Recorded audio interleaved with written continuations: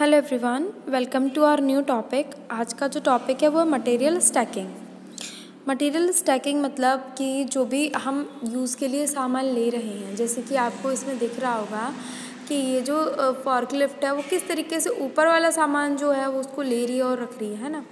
तो इस तरीके से हमें मटेरियल स्टैकिंग अगर करनी है तो हम किस तरीके से उस सामान को इतना अरेंज करके रखे हैं कि हम जब दोबारा से हमें उसे यूज़ में लेना हो तो हम इजीली उसको वहाँ से उठा पाएँ। है ना? तो इसी के बारे में इसमें बताया गया है कि मटेरियल स्टैकिंग करने से हमारे क्या क्या बेनिफिट्स होते हैं? सबसे पहली बात तो हमें सारी चीज़ें पता हो जाती हैं कि हमारा ये सामान जो है, इस फॉर्कलिफ्ट से उठेगा, इतनी हाइट है इसकी और जो जो सामान कौन सा सामान कहाँ अवेलेबल है, ये सारी चीज़ें पता लग जाएँगी। ठीक है? तो मटेरियल स्टैकिंग क्या है? एक तो ये चीज़ दूर करता है कि आपका मैनर वे में डी स्टैकिंग और स्टैकिंग वो मेंटेन करके रखता है। ठीक है, उसके बाद एक्सीडेंट्स को भी वो कंट्रोल करता है क्योंकि क्योंकि जो आपने जो सामान है, जितना भी आपका मटेरियल है, वो आपने वेल मेंटेन रखा, ठीक है? आपको सारी चीज़ें पता है कि कौन सा चीज़ कहाँ है और कितना मतलब कितनी हाइट पे रखा हुआ है और वेल मैनर में रखा हुआ है तो क्या होगा, वो गिरेगा नहीं तो एक्सीडेंट्स भी नहीं होंगे। ठीक है, हमें इस तरीके से सामान को मेंटेन करके रखना है सारा, कि एक्सीडेंट्स ना होने पाए, ठीक है? तो इसी के बारे में स्टैक मटेरियल स्टैकिंग बता रहा है कि हमें ये याद, हमें ऐसे डूज़ और डोंट्स नहीं करने चाहिए। हमें क्या करना चाहिए, क्या नहीं करना चाहिए, यही सारी बातें इस पर बता रहा है। तो हमें कभी भी ऐसा नहीं करना चाहिए कि जो मटेरियल हमें यूज़ नहीं करना है। ठीक है? तो मटेरियल नहीं यूज़ करना है जो तो हमने उसको कहीं भी रख दिया। ऐसा नहीं करना है, ठीक है? क्योंकि देखिए, जो सामान आपको यूज़ में है, वो तो आप रखेंगे वहीं, पर जो नहीं है, उसको ऐसा नहीं है, उसको भी उसकी स्टोर्ड प्लेस पे आपको रखना है। ठीक है? तो इसमें यही है कि पूरा ऑल ओवर यही बताया है कि आप जो भी मटेरियल स्टैकिंग कर रहे हैं, वो प्रॉपर वे में करें।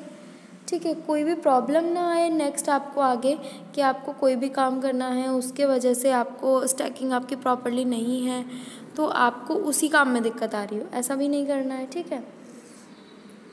तो यही सारी चीज़ें इसमें बताई गई है मटेरियल स्टैकिंग में कि सेफ़ एक्सेस आपको मेंटेन करके रखनी है।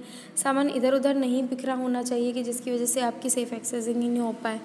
ठीक है, अगर देखिए हाउस कीपिंग प्रॉपरली होगी तो आपका सेफ्टी भी प्रॉपर रहेगी।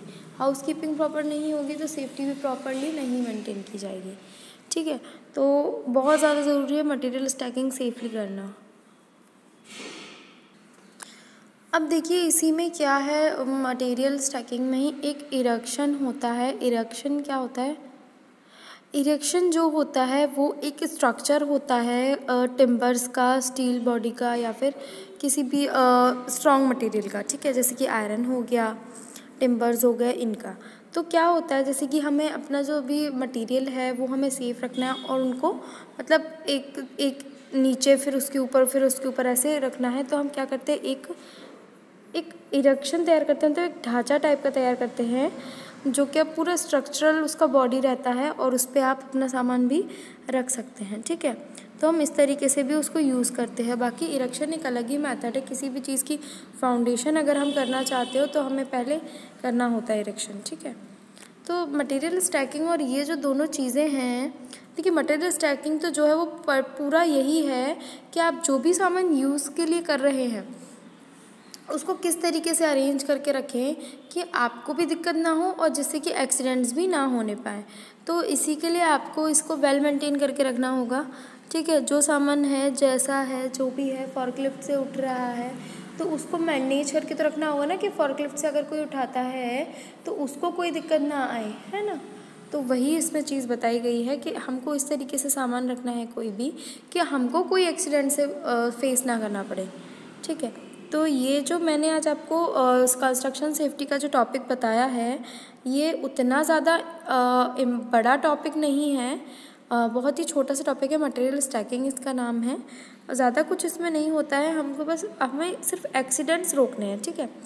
हमें एक्सीडेंट्स रोकने हैं तो हम सारी हर एक छोटी छोटी चीज़ पे ध्यान देंगे। तो इसीलिए हमने ये वाला टॉपिक किया है आज। कि ताकि कि मटेरियल स्टैकिंग की वजह से हम उसको अगर ना सीखें तो एक्सीडेंट्स की क्या क्या दिक्कतें आ सकती हैं।